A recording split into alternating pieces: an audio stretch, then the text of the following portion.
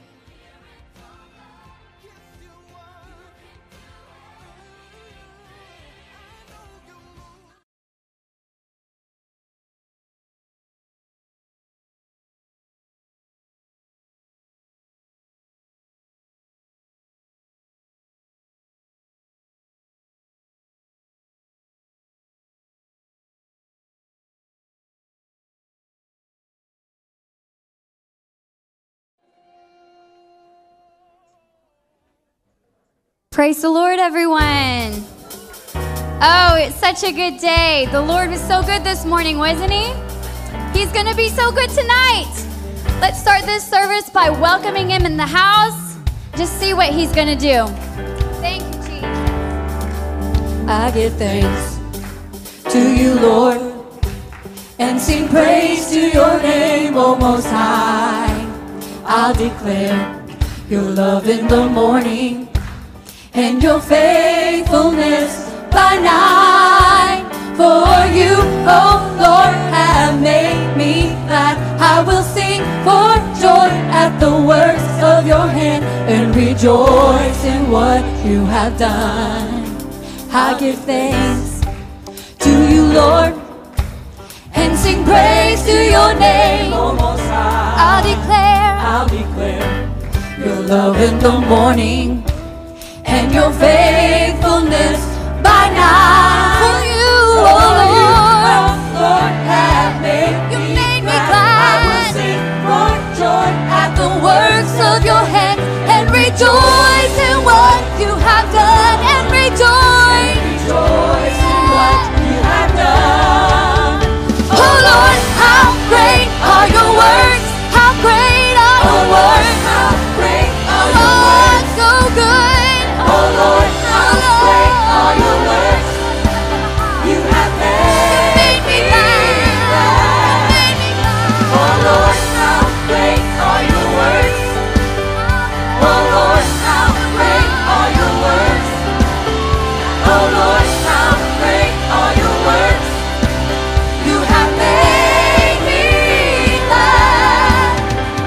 trust in you, Lord. For I know that you're on my side. I can rest. I, won't be defeated.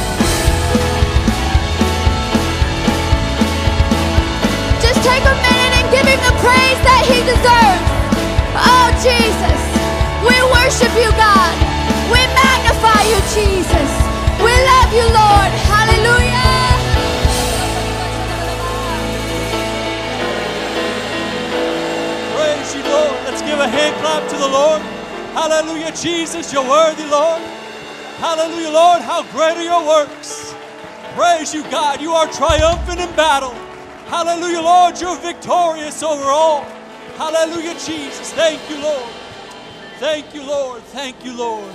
God is so good. Amen. Praise the Lord.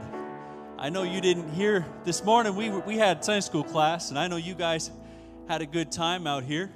But we learned that God is Lord over all confusion. And when I'm confused, I run to Jesus. And I think you, some of you discovered that this morning in practice when you came to the Lord and you started worshiping. Everything simplified. And all of a sudden, you found answers to situations you had no idea could have had answers to. And it just happened in a moment. And so tonight, let's carry that on. If you're confused, if you've got something going on in your life, if there's situations in your life that are out of your control, we're here tonight to praise the Lord. When you come and you bring your needs to the Lord, you are worshiping the Lord, you are running to the Lord. And God is going to move and He's going to simplify things for you and He's going to bring answers to you tonight. Do you believe that? If you have a need, you can come to the front. They will anoint you with oil. Let's pray together. Let's let's believe together. Let's let's go to the Lord together with our needs. Hallelujah, Jesus. Lord, God, you are not the author of confusion. Hallelujah, Jesus. Lord, we worship you tonight. We come to the God who is above it all, who's through it all, who's in us all.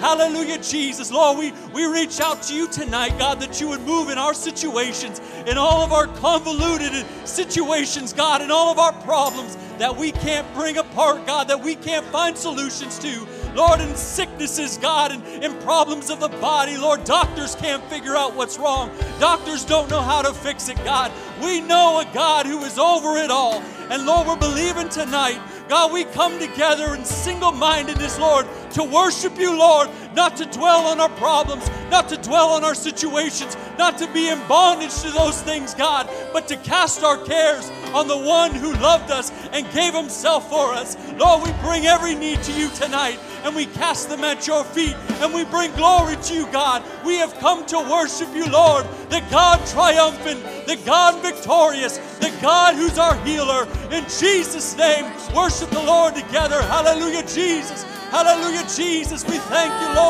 We thank you, Lord. Hallelujah, God. Hallelujah, God. We give you glory tonight, Lord. We're thankful, Lord, for what you're doing in our situations, God. We're thankful, Lord, for how you're moving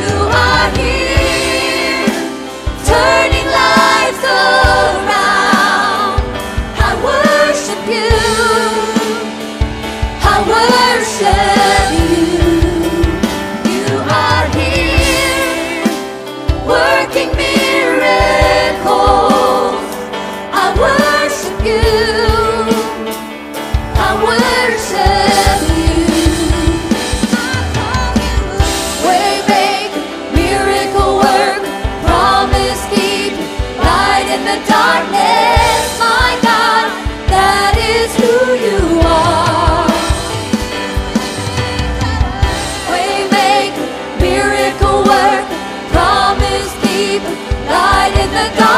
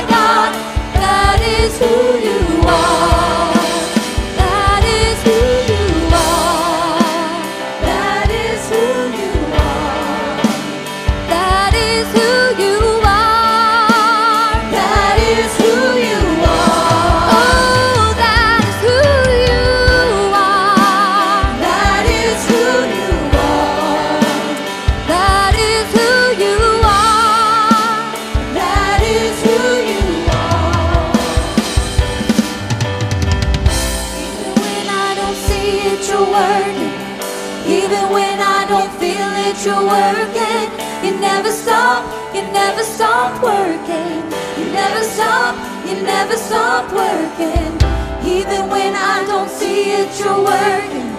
Even when I don't feel it, you're working. You never stop, you never stop working. You never stop, you never stop working. Even when I don't see it, you're working. Even when I don't feel it, you're working. You never stop, you never stop working. You never stop, you never stop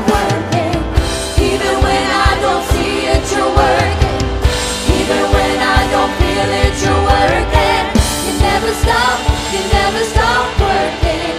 You never stop, you never stop working. Even when I don't you're working. Even when I don't feel you're working. You never stop, you never stop working. You never stop, you never stop working. Waymaker,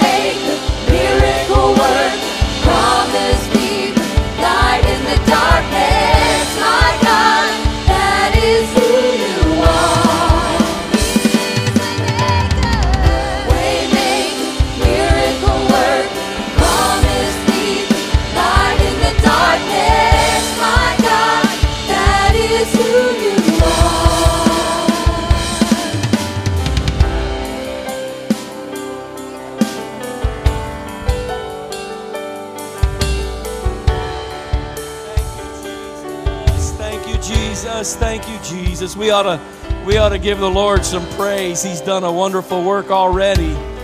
Praise God. We give you thanks and we give you praise, Jesus. I worship you, Lord. I thank you for what you've done and what you're doing right now. Hallelujah, hallelujah, hallelujah. Praise God. Amen. The Lord's always welcome to do whatever He wants to do.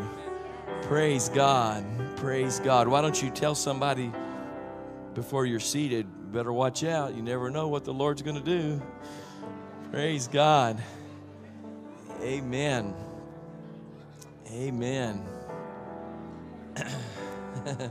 they used to think that the preacher had it in his hanky, and when he'd shake his hanky at you, that's what it was. But it was really the Holy Ghost. Amen. God bless you. You may be seated. The ushers are coming to receive the offering. And we welcome all of you here to this second service of our revival. We'll be here tomorrow night, Tuesday night, and Wednesday night at 7 o'clock. Looking forward to what the Lord is going to do tonight and the remainder of this revival. Amen. Also, we want to remind you next Sunday is All Nations Sunday. Looking forward to a great day uh, at 10 o'clock in our All Nations Sunday service. Missionary uh, Rodriguez will be with us, missionary from uh, uh, Portugal. Portugal. I was like, come on, come on, come on. Where is it? Where is it? Uh, Portugal is going to be with us. We're going to be going back to the fellowship center after it's over with, after the service is complete. We have 20, about 20 uh, nations represented. We're going to have all sorts of good food and fellowship and just celebrating that the Lord is pouring out His Spirit on all nations. And the Lord has brought them to North America, and we're able to minister to them. And so uh, it's just a very special day next next Sunday morning, 10 o'clock. So please keep that in mind. Amen. God bless you. And uh, anybody feel the presence of the Lord here? Amen. I know the Lord is in this place. Praise God. Continue to worship with the praise team as they lead us into the presence before we hear some preaching. God bless you. Oh, thank you, Jesus. Isn't he so good? Let's just continue in this atmosphere of worship. We love you, Jesus. We thank you, God. Thank you, Lord. Oh, the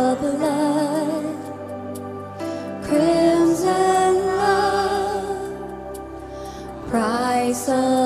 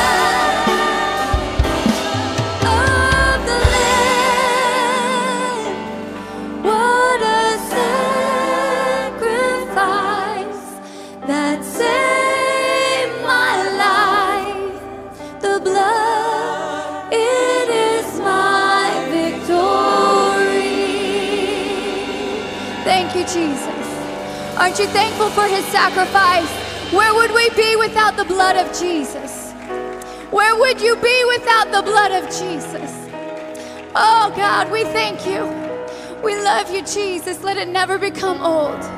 Jesus, we worship you, God.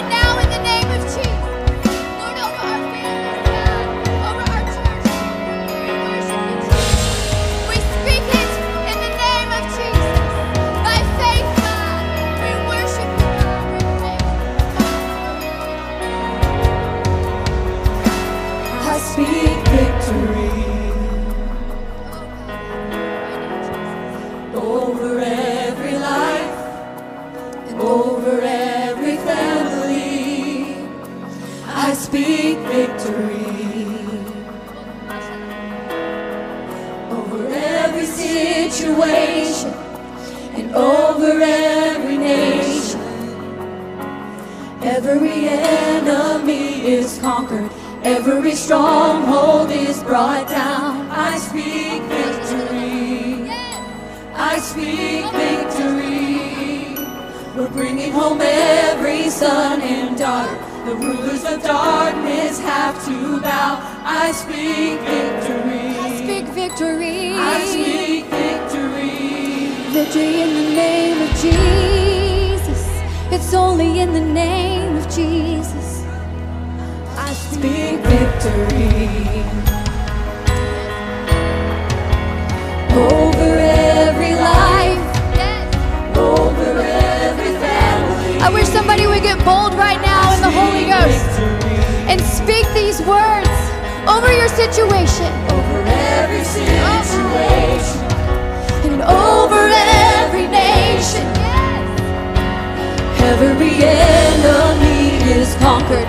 Every stronghold is brought down. I speak victory. I speak victory. I speak victory.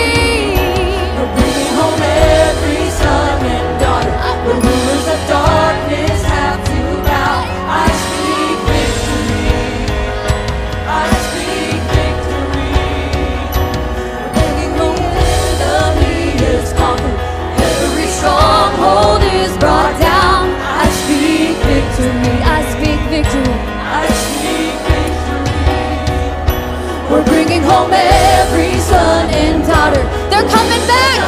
They're coming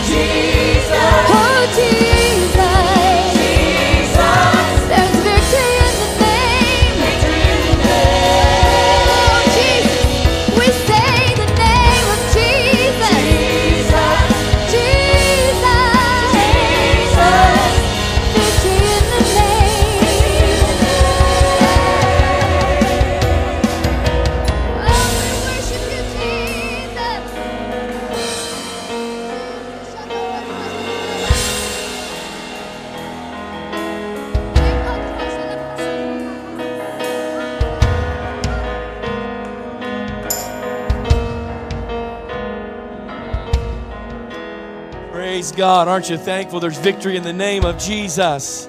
Neither is there salvation in any other.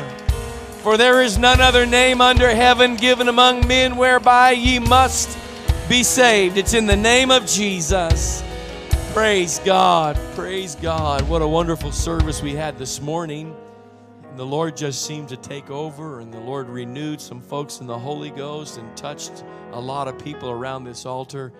And we don't apologize for any of that. We're excited about that. I'm thankful for what the Lord has already done. He touched Jerry right up here this altar already. Praise God. That's the result of a lot of prayers that lady sitting right next to you. Amen. Praise God. Don't ever stop praying for your family. Don't ever stop praying for your friends, for your loved ones. Praise God. God hears those prayers. Amen. We're so happy to have Brother Albritton with us. And for some of you haven't been here, uh, you know, for 20 years, but he's been coming to this church preaching for more than 20 years, I think we finally determined. And uh, he was an, a full time evangelist many, many years ago, and he'd come by and preach. Then he started pastoring church in Colorado, and we'd still invite him to come back and preach. And now he's evangelizing again full time, and so now we're inviting him back again. He may become something else, but we'll still invite him to come back and preach. We're happy to have him with us. Why don't you welcome him to this pulpit, Brother Albritton? God bless you. We love you. Happy you're here in Jesus' name. Oh, let's just give our Jesus an ovation of praise. He's being so good to us. God, you're so good. We love you, Lord. We honor you, Jesus. You're so good. Hallelujah. Just a standing ovation as if he really physically just walked in the room because he has walked in this room. We give you praise.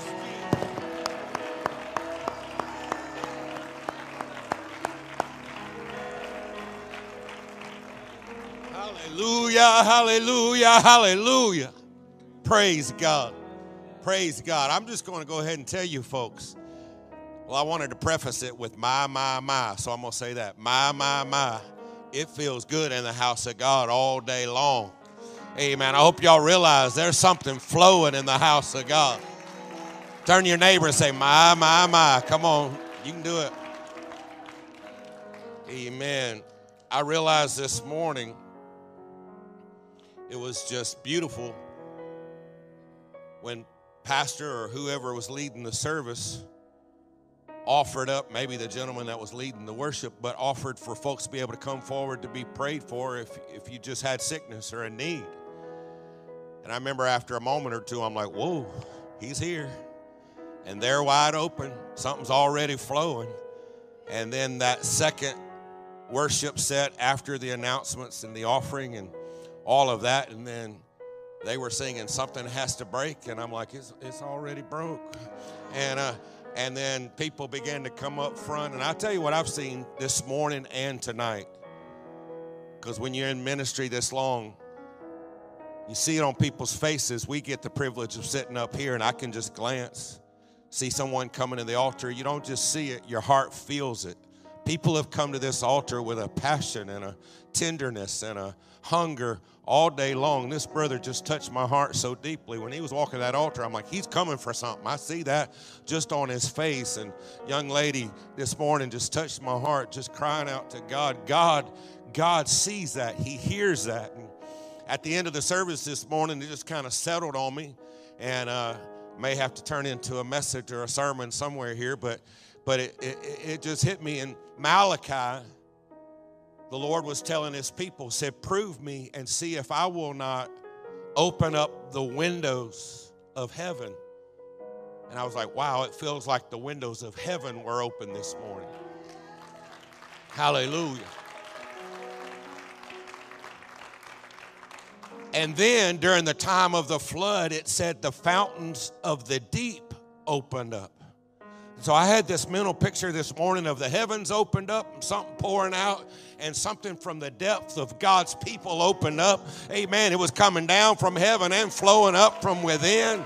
Amen. That's what it feels like's happening in the house of the Lord. Hallelujah. Hallelujah. Hallelujah. And so we are so grateful. It's so good to be back in Dewar, Oklahoma, America. Amen. I'll tell you what greets me back to Oklahoma almost every time when I'm in this part of the country. I guess it's any y'all ever have it's just a consistent check to make sure you you're prayed through. Make sure you got there's something that's a a, a thermometer or it's a patience test or it's a something and every once in a while it's circling back around. For me, when I'm preaching Oklahoma, is paying tolls at the Indian Nation Turnpike when you forgot to bring cash. That's happened to me. Like you'd think I'd learn by now. I just don't come but every few years through this part of the country, and it, it gets me every time. So the sweet lady at that booth last night, I stopped and visited friends, and several of ministry friends were together in Hugo, visited with them, and they cooked out. Man, we had a wonderful time. And then here I am coming up this way and get to that first toll booth, and I'm like, a few miles away, and I'm like, oh Lord, I forgot cash. And I'm like, well, surely, forgive me, but for surely y'all at least in like the 2000s now, and, and it'll take a picture of my license plate and we'll be good. And when I got up there, I'm like, I don't see none of those options tag or cash. So I pull over in that little booth and I'm like, ma'am, I don't, I don't have a drop of cash on me. I might could dig and find a couple quarters or dimes. And she said, all right. She said, I'll have to write you this deal. She said, You're going to owe this toll, but you got to get off right here. And she said, About it was at Antlers, I think. She said, Right down there. I even recognized the deer in that little store because it's a big old monster 10 point because I've had to stop there before and get cash. She said, If you go right down there, you can get cash. And she said, Then when you get back on, you can pay me and you'll owe me. And she told me how much that I would owe her. So I go and I'm getting cash. And so when I asked the guy at the little store, Do y'all have an ATM? He said, Yeah, but they stick it to you. It's $4.50 charge. I said, Oh, Lord, y'all get me over there. You're getting me over here. And, and so then I get my cash, I get back, and when I go to pay her, I realize, Y'all, I said, I know it ain't you. I said, ma'am, I got a smile on my face. I am not taking it out on you. She said, believe me, they do. People do.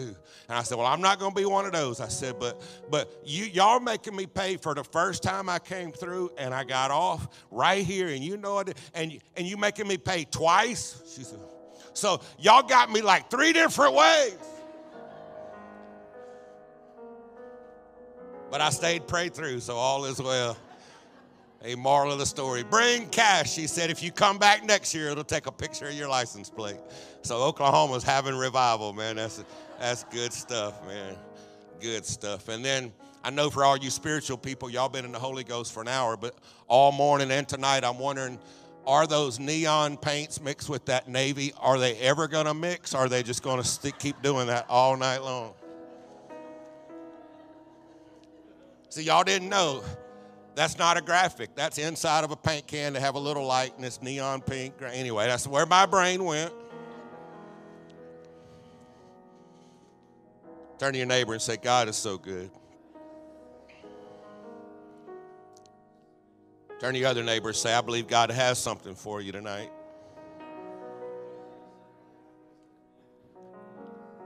Turn to your other neighbor and say, I believe God has something for you tonight. Some of y'all can't even think spiritual now. You're trying to figure out if the paint's ever going to mix. It's all right to smile in the house of the Lord. I repeat myself on this, but it's very intentional. The reason I can say to you, I don't have to know you, or I can have you say to your neighbor, I believe God has something for you tonight, because I believe every single time that we come to church, if we have a mind and a heart for something from God, He's going to have something. Maybe a nugget, maybe a whole steak, may, but He's going to have a word. He's going to have something from His Spirit that's going to be for us. Amen. So it's a tremendous honor to be with Brother and Sister Martin, to be with you all. We have been being able to be a part uh, of your church for a long time, and for that we are truly, truly grateful.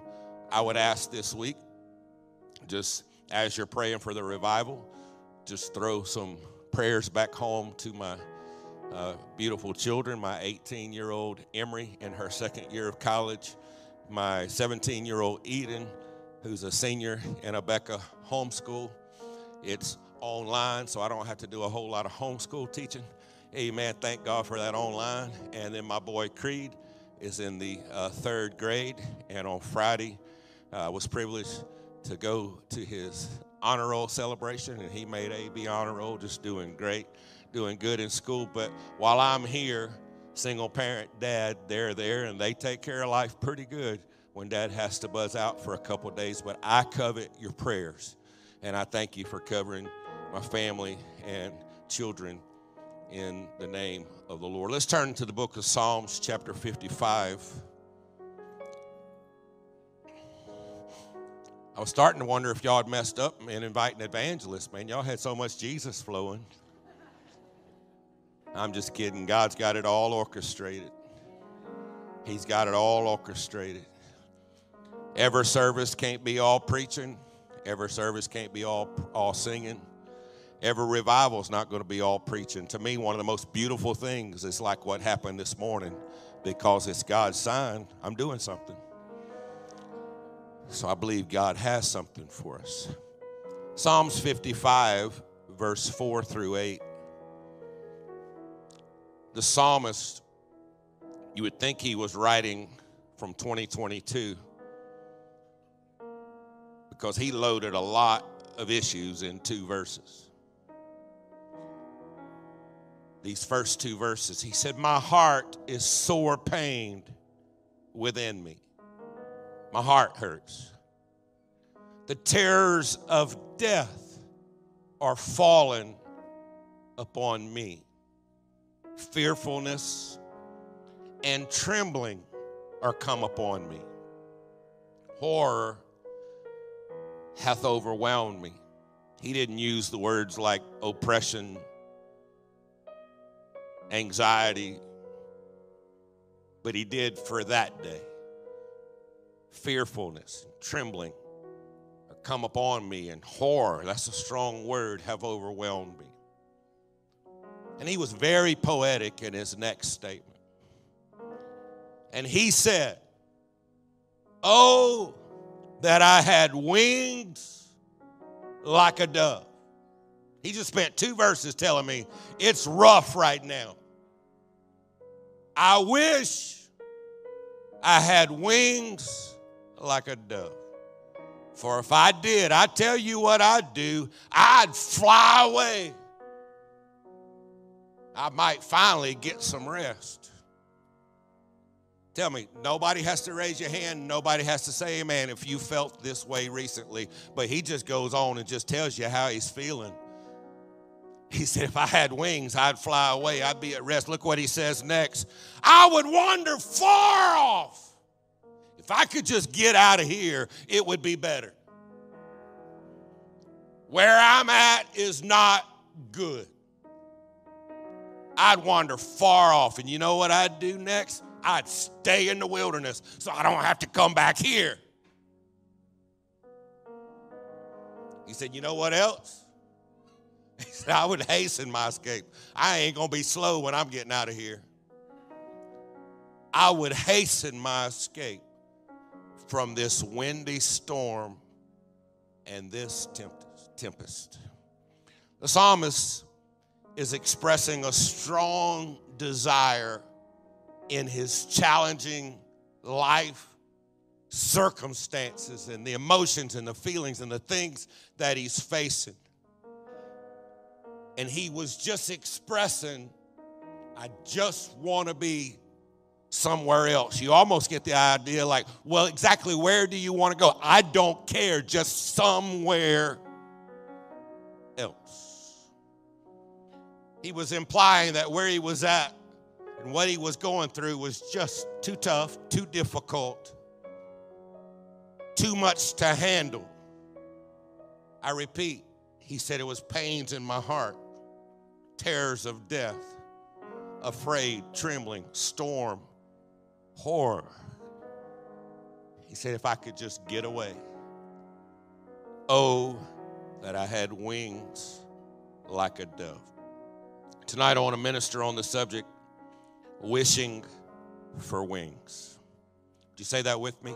Wishing for wings. God bless and you may be seated. Lord, your spirit, not just all service, but all day. your affirmation has been so strong. I believe the two most powerful forces on this earth, and then when combined, they're just so amazingly beautiful to watch unfold. And, and that is the power of your spirit and the power of your word. The two most powerful forces, God. Let both work in this house tonight. Let both work in this revival. Your spirit and your word.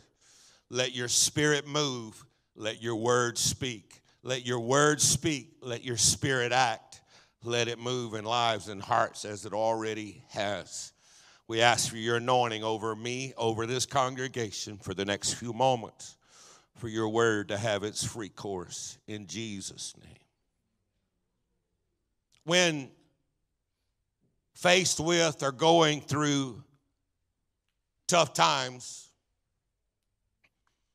it is our human nature to want to get away or just be somewhere else. Southwest Airlines ran an, an advertising theme probably for five or ten years. It just became something that you would hear the little slogan or uh, you, you, you, it, was, it was something that was very common and, and they repeated this scenario over and over. Southwest, Air, uh, Southwest Airlines known for pretty, pretty affordable airfares already. But they would have a, a scenario, and they did it on television. It was on radios. You could hear them, uh, a bunch of different uh, uh, media presentations. But it would always be some type of setting at work or a family or job, whatever. And then somebody would do something or something would happen, and you knew all of a sudden they were about to be very embarrassed. They were on the spot. Something had just gone very wrong, and it was 100% their fault. And then the, the music would freeze, and the narrator would say, Ever just want to get away? And then they would say Southwest Airlines, $59 flights. And, and, and they, they used that theme for several years to promote their inexpensive, discounted airfares. Ever just want to get away. And I would say that the desire to get away from a tough time or to escape the pressure pain involves in our life that things that bring pain and if i can escape the pain or if i can escape the pressure if i can escape the stress i, I, I believe that that is common. I believe that it is would even be considered understandable can't always give in, but it's understandable that it's a common behavior. Holy Ghost moved so beautifully on a phone call yesterday. Someone that trusts me, who death and cancer has entered their family. It's, it's hard to comprehend how this much could come in one family in a two year stretch. And it's a young adult person doing all they can to make it for God, and yet they're struggling. And the two words in the long text that I received this past week was autopilot or numb or escapes. Finding, I don't want to, but but things happen that, and I, I get it. There's so much challenge in that person's journey. Holy Ghost moved so beautifully after time of discussion and prayer, driving here for revival over this past weekend. We would consider it normal. Even Jesus, God on this earth in human form, experienced these emotions. For in the Garden of Gethsemane, facing the agony of what was to come, the soon to come scourging and crucifixion and all that was involved. Jesus in Matthew chapter 26, verse 39. This is God manifest in the flesh.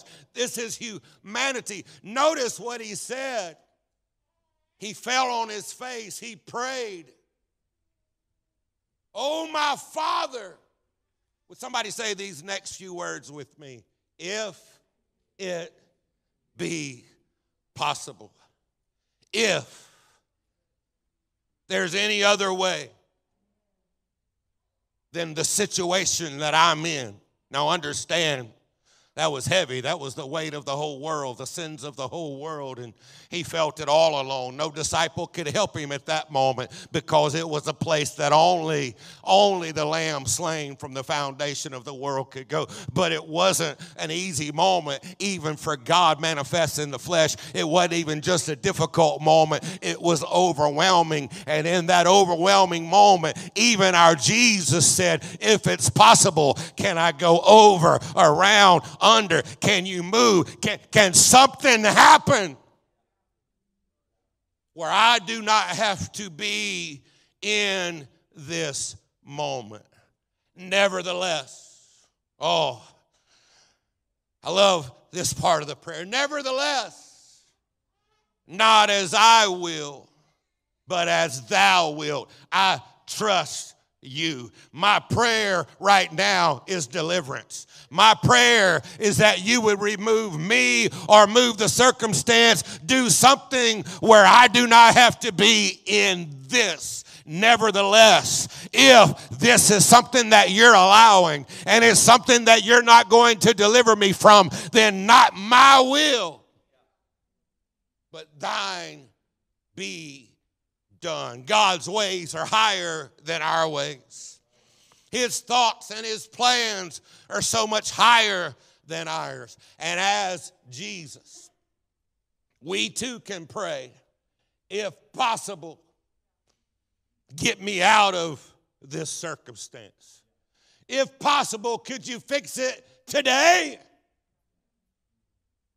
Y'all ever imagined I mean, this is one church in one city, in one state, in one nation. Can you imagine how many prayers God gets every day? Fix it now. Today. Huh? You ever thought about that? I imagine he's getting thousands because there's a whole lot of human beings on this earth. Said it hurts. I don't like it. This is a tough spot. If there's any possible way, can you fix it, heal me, deliver us, change this now?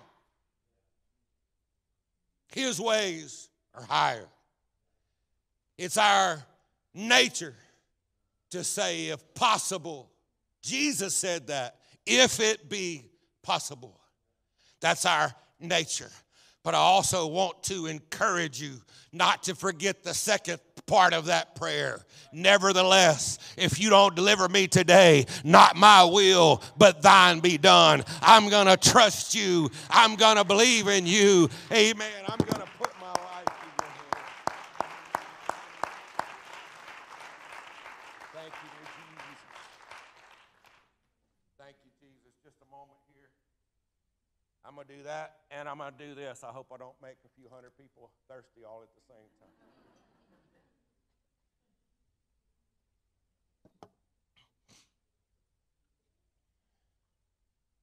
When faced with the pain or the stress or the terror, David put a lot in those verses. He was going through something heavy. When faced with that, our, our nature sometimes is to only pray as David prayed God, get me out of this. I'm your child, get me out of this. I don't pray quite as poetically as David did. Oh, that's, that's beautiful in your heavy moment to still be a poet. Oh, that I had wings. Some people just got it, you know. I mean, even in the stress, in the terror, and the horrors, he's writing these beautiful, oh, that I had wings like a dove. I would fly away and be at rest. I'm more like, get me out of here. Come on, dude, fix it. Y'all might be the poet type. I'm not, sir. But David said it so beautifully.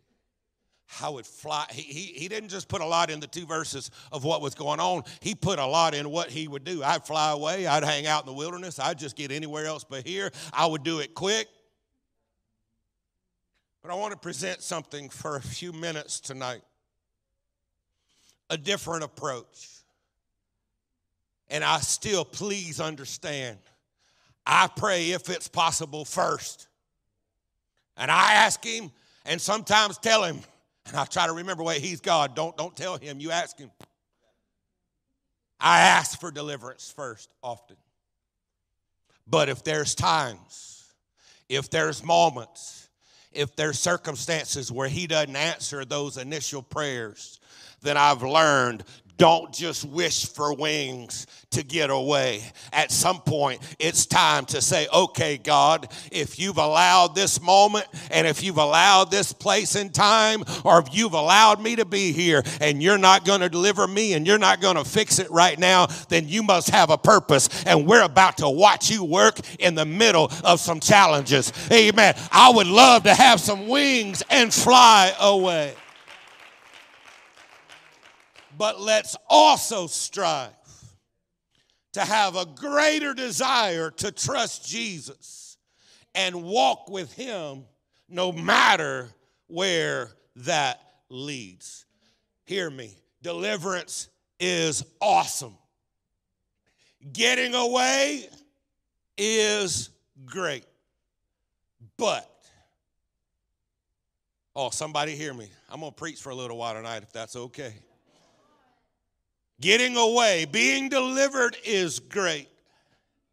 But coming out of the other side of something and realizing that Jesus walked with you through it and you made it and now you're stronger and you're better and you have more capacity to love and you have more capacity to care and you have more capacity to reach and serve and minister for others is just as great.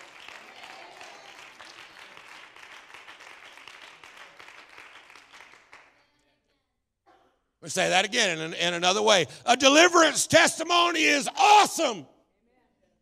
But a I made it through testimony is just as awesome. Amen. I went through it. Hell thought he had me. Hell thought he had my family. Hell thought we were going under. Amen. I cried out to God, but he didn't fix it. But we kept on keeping on. We kept on trusting Jesus. We kept on calling on the name of the Lord.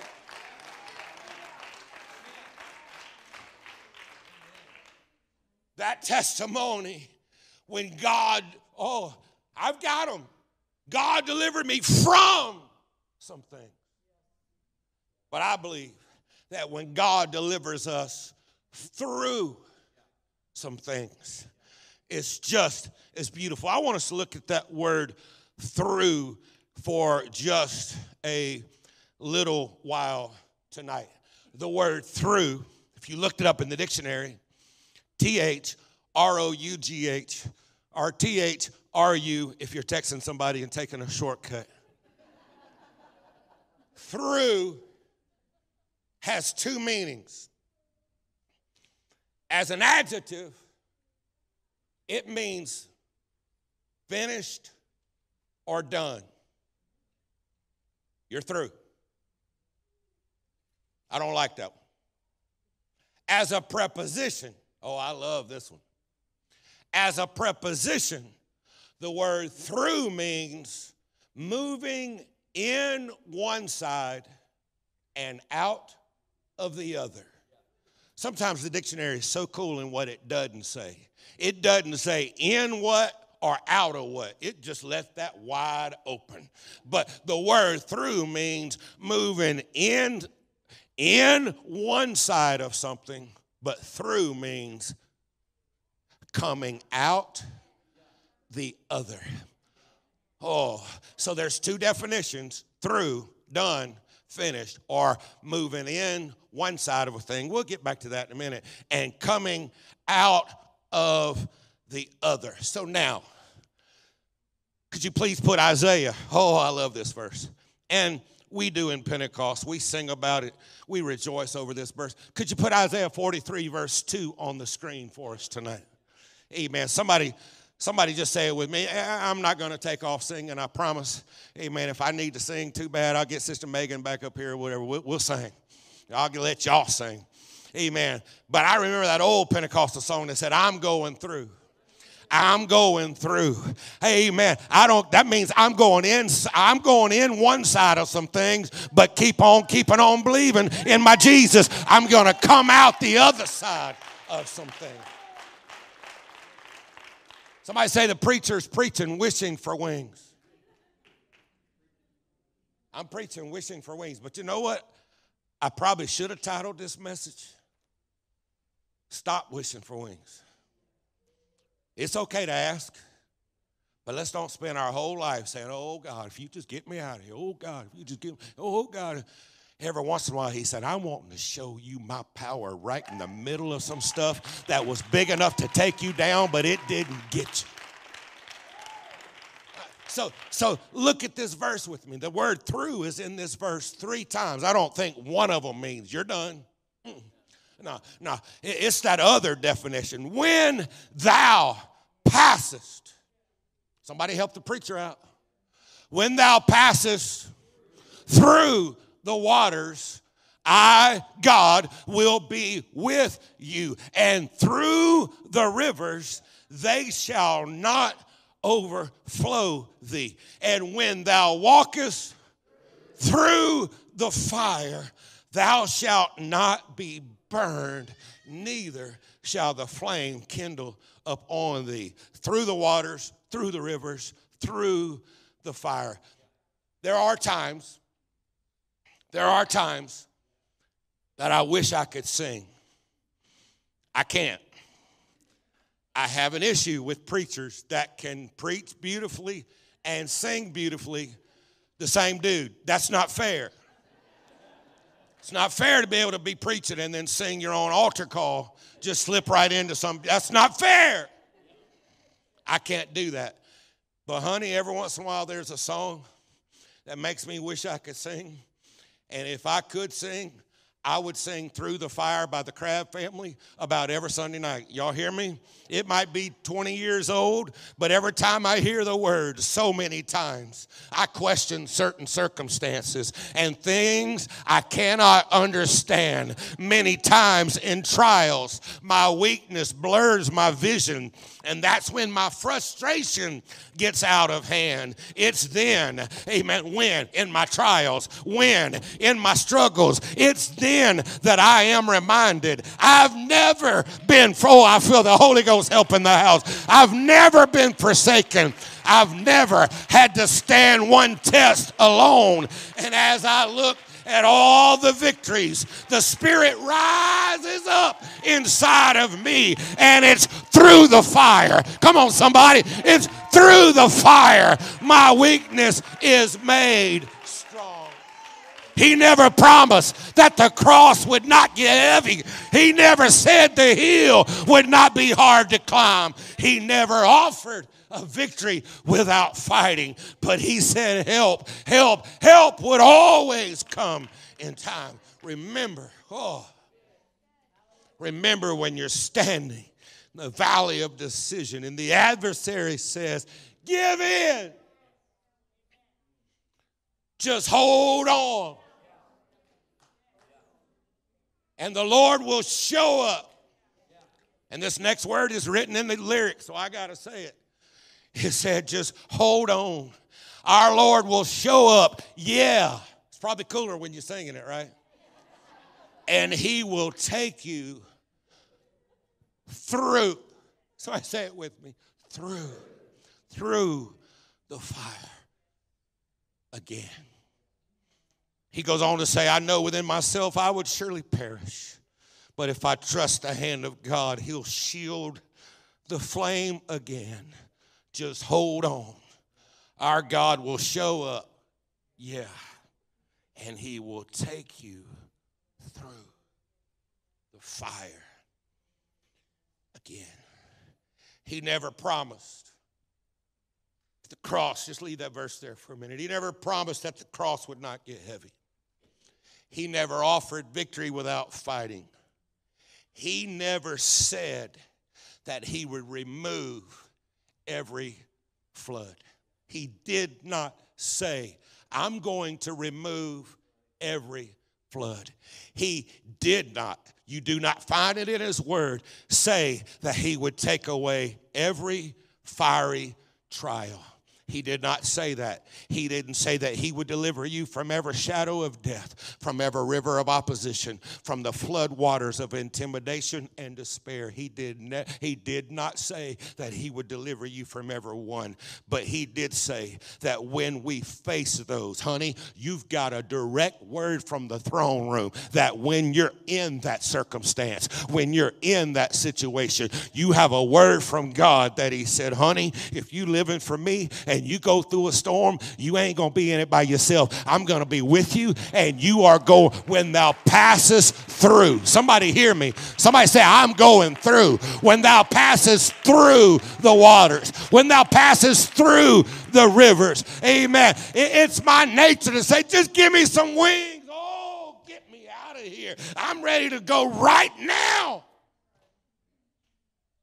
But God, if that's not your plan, and I got to go through this situation or through this storm or trial, then in the name of Jesus, here I come. Me and Jesus are going to go through. Through. Somebody say it with me. Through. Through. He he he said he would lead us through. Let me show you another verse. Let's move to Psalm chapter 23, verse 4. The psalmist David must have felt some of the same thing, had an understanding of what was spoken the prophet Isaiah, because David said in that beautiful Psalm 23, Yea, though I, somebody help me, walk through the valley, the shadow of death. Some versions read the valley of darkness, deep darkness, one of them says. Yea, though I walk through the valley of deep darkness. Notice what he said through. He didn't say, I'm going to stop and build a house there. He didn't say, I'm going to go to the post office and tell them, this is my permanent address here. I know I've moved a few times, but y'all, this, is, this one's going to be settled. He, he didn't say that. He said, Yea, though I walk through the valley of the shadow of death, I will not be afraid, for thou art with me. I stand before you and preach on this Sunday night. If God delivered you from every valley, from every river and flood, and from every fiery trial. And I have a question that I'd like for you to consider with me tonight. If He delivered you from every single one of them, how could He ever show you and prove to you that He will walk with you through them? If he delivered you from every single one, then we got to yank those two verses out the Bible because if he delivered you from every single one, then you're never going to have one to go through. Amen. But he he's not going to deliver us. And please don't don't don't anybody get scared. Oh Lord, if I live for Jesus, I guess bad stuff's going to come just so I can get me a new testimony. No, that ain't how it rolls. But if you live for God long enough, you're going to understand God's not just going to move every single tough thing out the way. He's not going to just bounce every trial or storm or battle out of the way. If He delivered you from everyone, then how could He ever show you that He will walk with you through them? Amen. I've got a word for somebody on this Sunday night. You aren't through, you're going through. Somebody hear me. You aren't done, You aren't finished. It's not over. You aren't through. You're going through. You may have been wishing for wings, but you're realizing, wait a minute, God's going to put an anointing on me. God's going to put something in my home, in my family. I'm not through. I'm going through. I came in one side, but I'm going to come out the other. Amen. I came in one side of this circumstance, but I'm not stopping. I'm going through.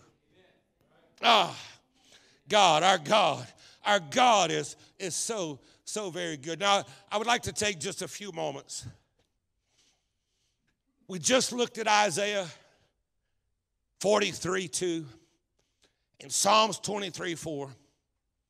We looked at both of those settings, emphasizing the word through. I'd like to go back, if we can do this, one more time, and I want us to emphasize another point that's in both of those verses. Psalms 23, verse 4. We just looked at it. We emphasized the word through. So I know I may be messing up with their order. There it is. Look what else is in this verse. Yea, though I walk through the valley of the shadow of death, I will fear no evil, for here's why I don't have to be afraid. Here's why fear is not going to dominate or win. It may bump against me, but it's not going to win. When I walk through the valley of deep despair, through, everybody say through. I'm going in one side and out the other.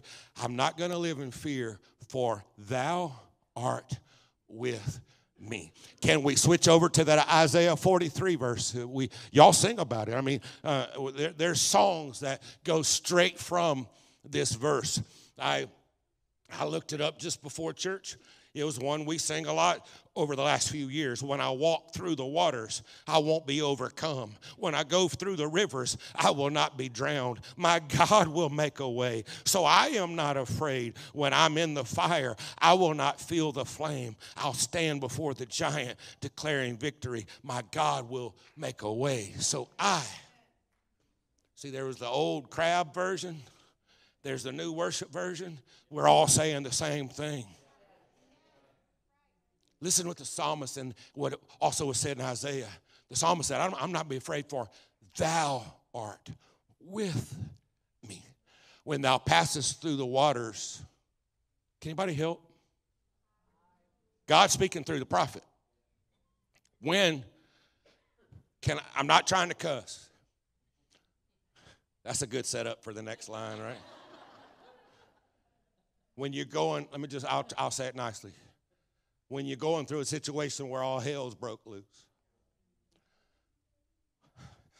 When something hits your home or your family or your life that's overwhelming. When you're going through it, your God said, not only through, through, through, three times in the same verse. Look what else he said. I will be with you. I don't know if you've ever considered this. If I stood in this pulpit tonight and said, Tonight, I want to announce that God, our Jesus, is going through a trial tonight. I just have to come tell this congregation tonight God is in one of the lowest valleys he's ever been in. Y'all would probably go, Oh, Bert, not God, he's on the throne. But I believe I have scriptural proof to tell you. My God tonight is in a valley. My God tonight is in a storm. My God tonight is walking through some circumstances that involve tremendous pain. My God is walking through some fiery, fiery trials tonight. Why? Because he's got people all over the planet. And if one of his children is in a valley, guess where he's at tonight? He's in a valley. Because in the moment, oh, somebody here, in the moment,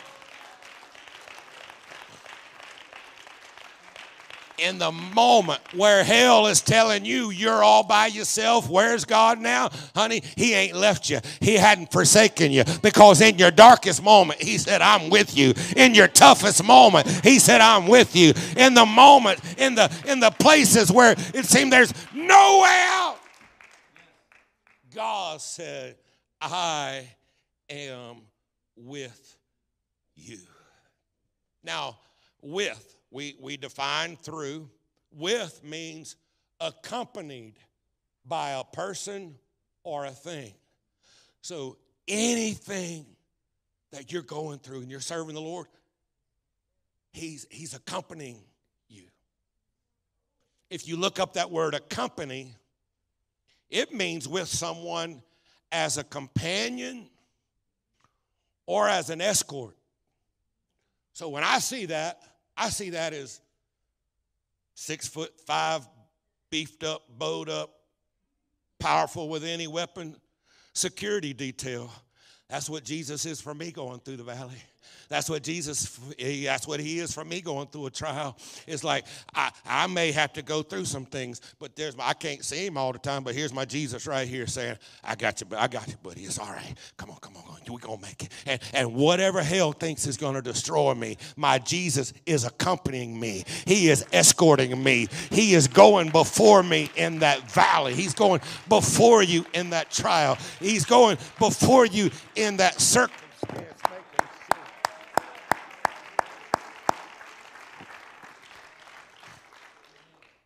I hasten. I can't say yet that I'm hastening to a close. I'm just getting closer.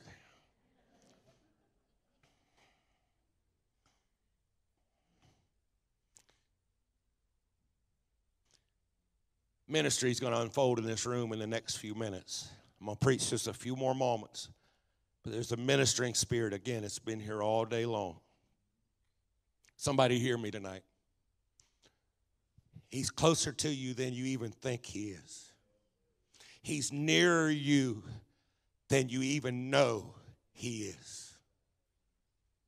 You say, Brother Greg, how can you say that? Well, number one, walked in a few places where in the moment you say, God, and then you look back and realize, oh my goodness, he was closer than I ever thought. He was nearer than I even realized in the moment. He was working, he was leading, he was guiding. I take you, and I didn't give these scriptures to the media, but maybe they can find them. But I take you to the two men, we call them the two men on the road to Emmaus. Jesus has been crucified, he's buried, and they don't know Jesus has been resurrected. They're walking along the road, and Jesus joins them. It's in Luke 24, verse 15 and 16 is where it says they're walking along, and then Jesus draws near. But the Bible said their eyes were holden that they did not know him. Jesus did that a few times in the New Testament. I don't know if he made the noise, but in my mind, he always made a little like a little noise and he blinded their eyes to knowing it was him. The Bible says it. Their eyes, their eyes, they were walking with him, but they didn't know it was him. They, they walk and they talk and they commune. They invite him into their home. And then Jesus says, It's me. And they realizes it's Jesus. And then he disappears through the walls because, see, that was before emails, text messages, all that. He had to go keep letting people know he was resurrected. But he let them know and he went somewhere else. But look what happens in verse 30 of Luke 24. He sit at meat with them. He took the bread, blessed it, break it. Their eyes were open. They knew him. He vanished. Verse 32, they said, Didn't our hearts burn within us while he talked with us by the way and opened up to us the scriptures? Folks, Jesus walked with them and talked with them on the journey, and they didn't know it was him. And then when he revealed himself, they said, Oh, I knew, I knew, I knew, I felt, I knew something. And, and they realized in the moments that we didn't even know it was him and we didn't even know he was with us. He was with us the entire time. And I'm speaking to somebody in this room today. I got to tell you, you're not alone. I got to tell you, in whatever you're walking through and whatever you're facing and whatever is part of your journey, you're not alone. He's with you. You say, Well, Brother Greg, I can't see it fully right now. I can't feel it fully right now. You keep on trusting. You keep on believing because there come a moment where you'll say, Oh, he was with me all the time. He was with me all the time. Hallelujah. I just want to take a pause. I got one more verse I'd like to share, one more scripture setting, and got a story or two that God has put on my heart, but I want to follow the Holy Ghost clearly here. This point in the message, can we just close our eyes and lift our hands and hearts to the Lord right now? God, you've ministered. Holy Ghost, beautiful, all service, all day. We honor you, Jesus. We praise you, Jesus. We exalt you right now, Jesus. Our nature is to wish for wings, to get away, to escape, to have the deliverance, the healing happen right now. Sometimes you have a different plan, and we trust you in that journey, and we get to watch you work in amazing, amazing ways, showing how real you are. Hallelujah. Somebody say it with me God is with me. I don't know all your journeys, but I can just tell you God is with you. Amen. I know we close our eyes. Could we just keep our eyes closed and lift our hands to the Lord for a moment right now? Hayararamashatahaya. Hayararamashatatahaya. Thank you, dear Jesus. Thank you, dear Jesus. Thank you, dear Jesus. Thank you, dear Jesus. Thank you, dear Jesus.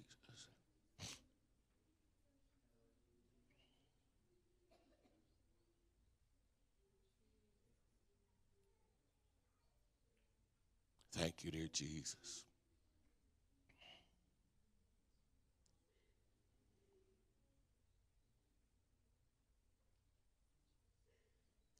Somebody say it with me through the fire.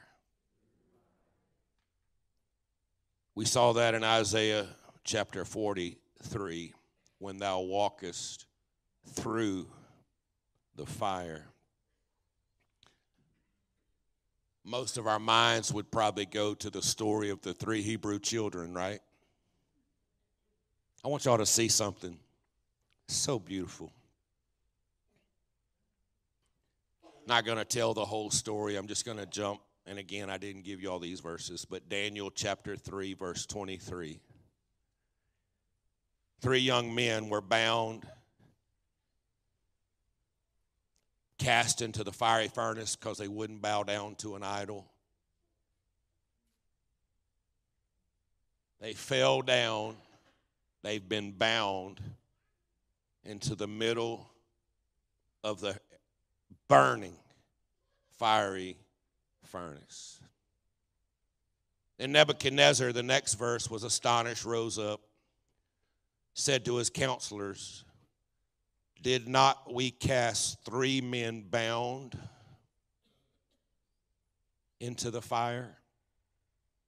And the counselor said, True, O king, it's true. You cast three men bound. Two, two things we notice here their countenance, three, and their condition, they're bound. And he said, Lo, please notice the math and the condition. I see four men loose.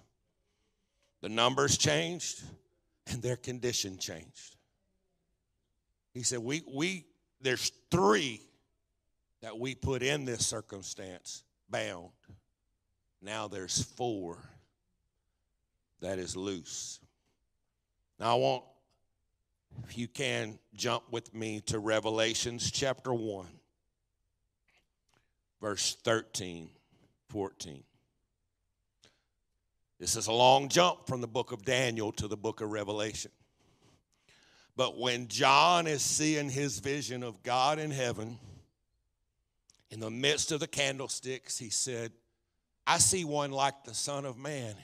He's clothed with a garment down to his foot. He has a golden girdle, a golden belt on, if you please. His head and his hairs are white like wool, and his is white as snow. His eyes are as a flame of fire. But notice what John saw next when he saw God in heaven. Somebody notice with me the next verse? His feet. His feet were like unto fine brass, as if they burned in a furnace. Why? When he's seeing, this is in the book of Revelation. He said, Ah, eyes like fire, white hair, oh, and his feet looked like they burned in a furnace. And I would say, because they did. Because when he stood beside those three Hebrew children, they weren't alone.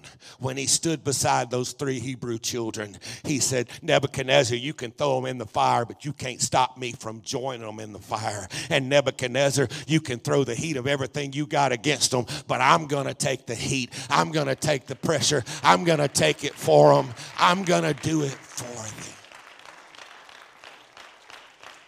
Hallelujah. So I tell you, I, I believe when I'm get to heaven, there's going to be some scars on his feet because he stood with me in some trials, and he stood with me in some heaviness, and he stood with you in some tough, tough places in your journey. Would you stand with me right now?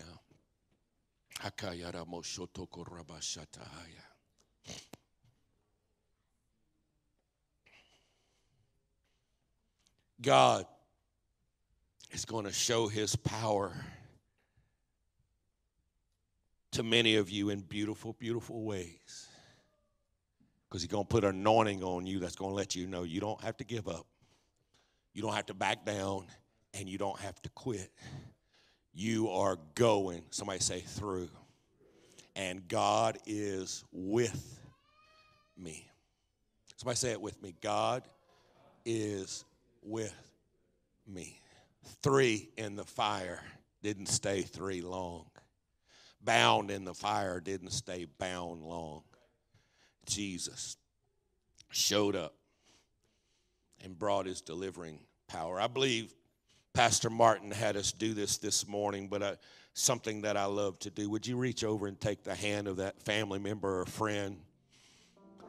Loved one that's sitting beside you, if you by sitting by a guest, just ask them if it's okay if you take their hand. Put your hand on their shoulder if you're comfortable doing that. And would you take that hand right now and just lift it to the heavens all across this room?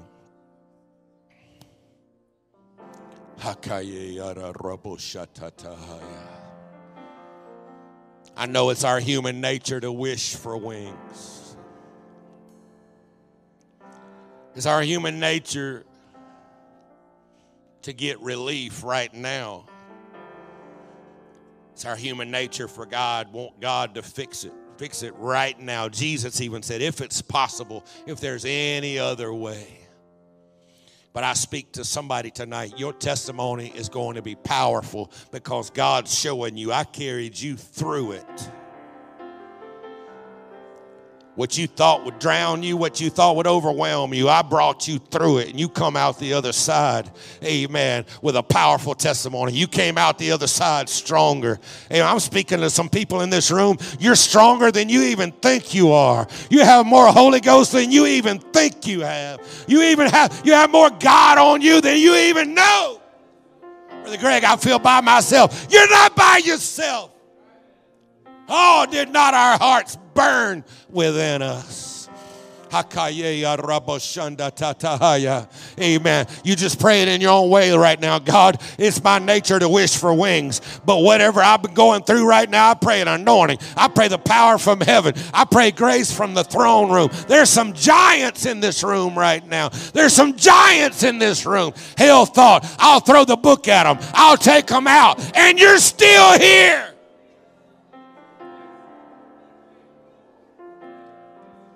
Hell didn't destroy your family. He didn't break. No, no, no, no, no. He, you're coming through. I love the deliverance testimonies, but I also love the testimony. They went through the fire, they went through the flood, but the fire couldn't couldn't burn them. The flood couldn't drown them because they had a tenacity, they had an anointing on them.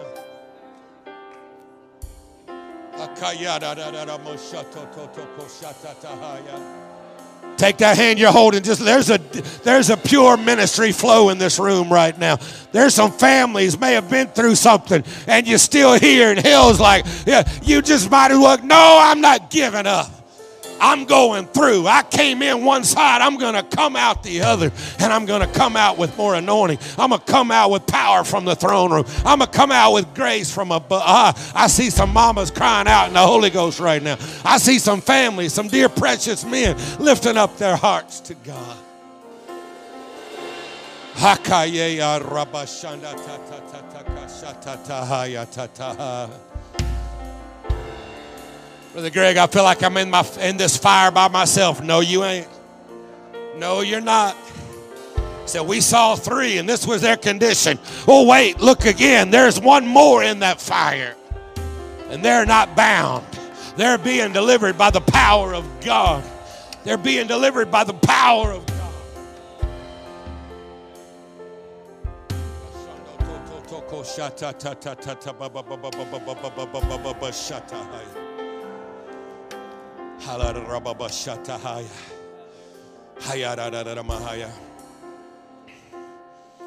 I, t- I tell you what I tell you what I feel, and man, the Holy Ghost. You just learn to follow the Holy Ghost.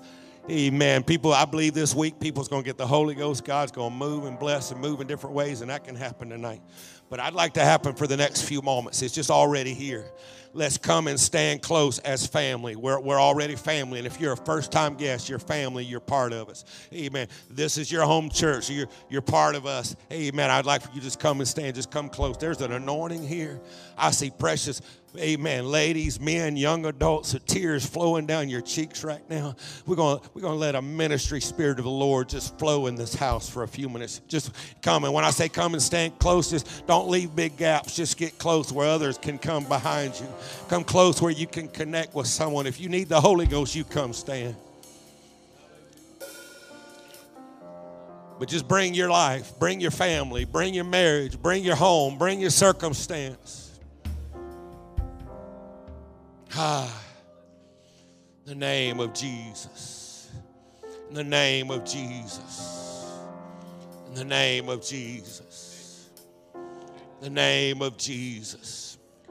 Now, would you do what we just did back at our pews? Would you mind doing that again? You may be standing by a different person, but would you connect again? Put a hand on a shoulder or take them by the hand. And I'm going to release right now the body to minister to the body because some of you know better than me. You know some that just may need a hand on their shoulder or may need somebody praying for them in the Holy Ghost tonight.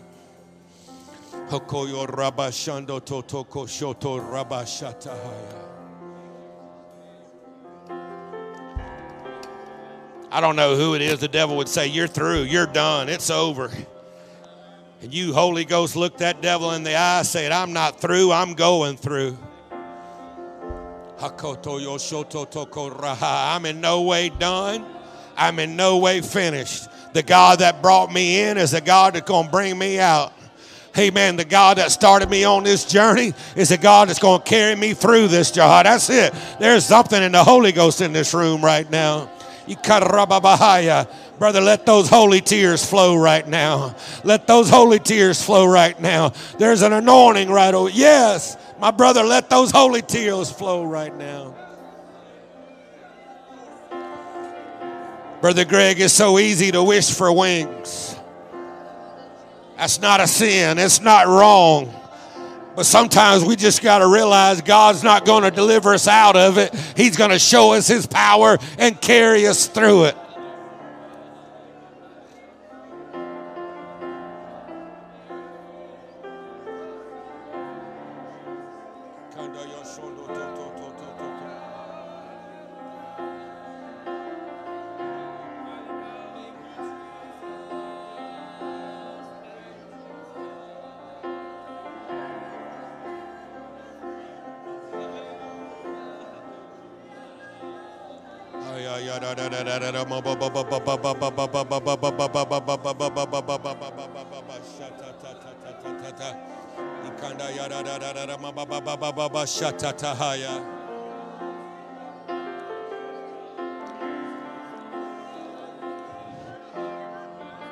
Hey, uh, that's it. If you're standing next to, beside, or in front of somebody and you want to turn and put a hand on another shoulder, it's okay.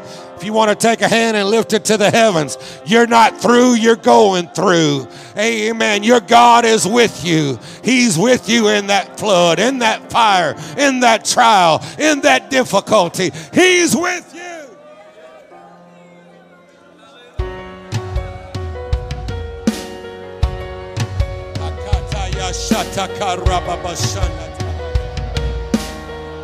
Church, I release you right now. If you feel to minister to someone near you, there's a ministry flow in this room.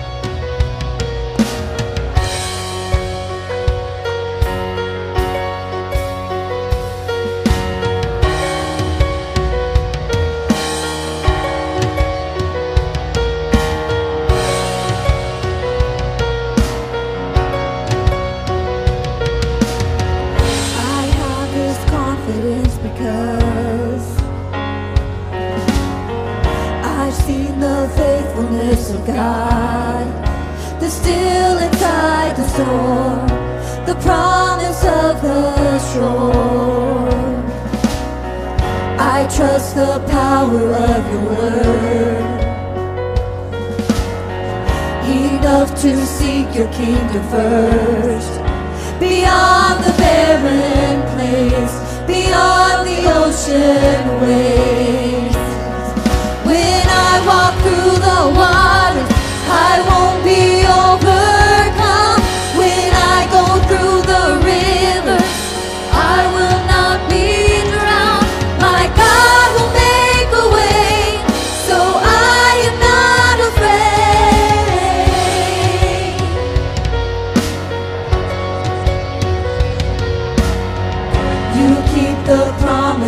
You